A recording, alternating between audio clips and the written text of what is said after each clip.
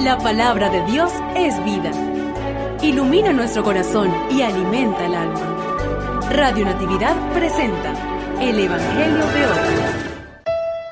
Lectura del Santo Evangelio según San Juan, capítulo 6, versículos 30 al 35. Gloria a ti, Señor. En aquel tiempo, la gente le preguntó a Jesús, ¿qué señal vas a realizar tú para que la veamos y podamos creerte? ¿Cuáles son tus obras? Nuestros padres comieron el maná en el desierto, como está escrito. Les dio a comer pan del cielo. Jesús les respondió, Yo les aseguro, no fue Moisés quien les dio pan del cielo. Es mi Padre quien les da el verdadero pan del cielo.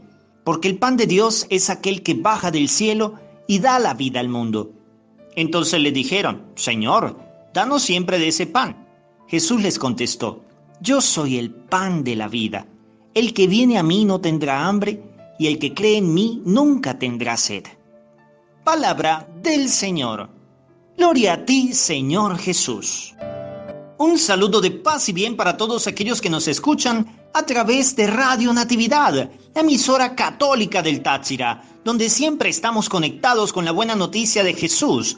Así como dice la carta a los romanos, si hemos muerto con Cristo, creemos que también viviremos con Él. Aleluya. Y en eso te invitamos también a vivir con Él. Hoy se nos sigue presentando esta necesidad de la gente de que el Señor les demuestre, a través de una señal, su divinidad, su mesianismo. Y es que lamentablemente nos acostumbramos a esto, a demostrar y a que nos demuestren. Cuando la palabra normal es mostrar. Dios nos muestra su amor todos los días, con el aire que respiramos, la vida, la naturaleza, su misericordia. Dios no necesita demostrarnos nada porque nos muestra todo cada día. Es tan irónico como que un niño le diga a su mamá, mamá, demuéstrame tu amor comprándome un juguete, cuando resulta que la mamá le muestra su amor todos los días. Y el Señor nos dice que no necesita realizar señales milagrosas, que Él es el pan de vida, que Él viene a nosotros para saciar nuestra hambre y nuestra sed si creemos en Él. ¿Qué pan estás comiendo? Porque el único pan de vida es aquel que Él partió en la última cena y que delegó a sus discípulos la responsabilidad de seguir partiéndolo en memoria suya hasta que Él vuelva.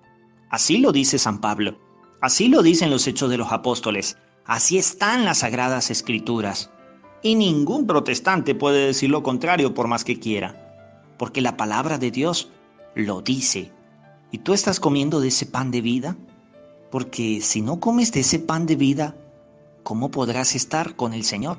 Si el Señor dice que quien come su carne y bebe su sangre tendrá vida eterna. Por eso, queridos hermanos, ¿qué pregunta la de hoy? ¿Qué pan estás comiendo? ¿El pan de vida eterna? ¿El cuerpo y la sangre de Cristo? ¿O estás comiendo y bebiendo del pecado, de la indiferencia, del conformismo, de la comodidad, de la negación, de la tristeza, de la desesperación, de la angustia, del decir que todo está mal, que no creo en esto, en aquello. Yo creo en lo que está escrito en la palabra. ¿Y tú? ¿En qué crees? No olvides las etiquetas, los sacerdotes buenos somos más. Y yo tengo un amigo sacerdote. Dios te bendiga. Gloria al Padre y al Hijo y al Espíritu Santo, como era en el principio, ahora y siempre, por los siglos de los siglos. Amén.